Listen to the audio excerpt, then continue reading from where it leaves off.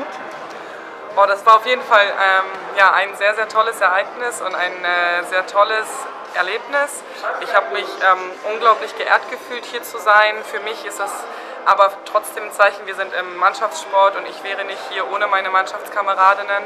Dementsprechend ähm, ist es eine Emotion, es ist viel, viel größer als nur das in die, die individuelle Auszeichnung, wofür ich natürlich mich geehrt fühle. Aber wie gesagt, da ist noch ganz, ganz viel anderes dahinter.